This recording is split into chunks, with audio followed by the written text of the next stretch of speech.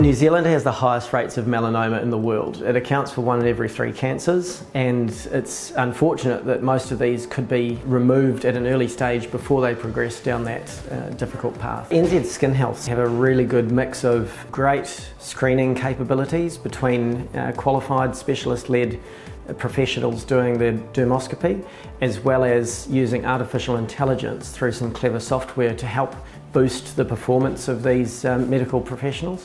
What I'm most passionate about is the high skill level that we've got in our team from plastic surgeon through to uh, great GPs and dermoscopists with years and years of experience. So you can come in, you can get screened. If there is anything suspicious, often we can nip it out at the time or very shortly afterwards, send it away to pathology and give you a lot better options than waiting for days, weeks, months for other professionals to give second opinions and, and that kind of thing. We've got everybody here that, that we need to be able to quickly diagnose and quickly treat.